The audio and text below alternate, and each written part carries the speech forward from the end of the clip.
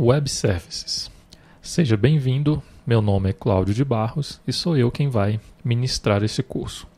Esse curso está disponível no site www.t2ti.com.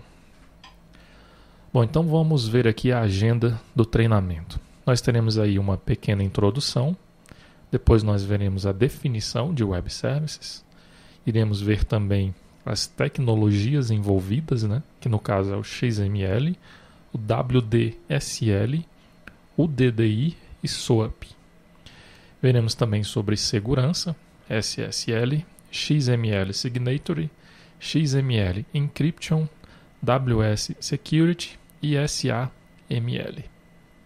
Nós teremos também aí algumas práticas utilizando a IDE NetBeans e também teremos as práticas com a IDE Eclipse. E finalmente teremos uma conclusão.